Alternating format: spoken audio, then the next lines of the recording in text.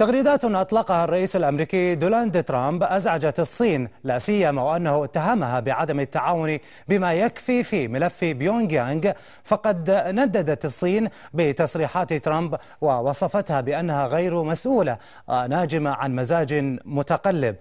وكان ترامب برر في تغريداته إلغاء زيارة وزير خارجيته مايك بومبيو إلى كوريا الشمالية بقلة تعاون بكين في ملف بيونغ يانغ وقال المتحدث باسم الخارجية الصينية لو كانغ أن التصريحات الأمريكية مخالفة للواقع وغير مسؤولة. وأثارت لدينا قلقا كبيرا ورفعنا احتجاجا رسميا إلى الولايات المتحدة الأمريكية.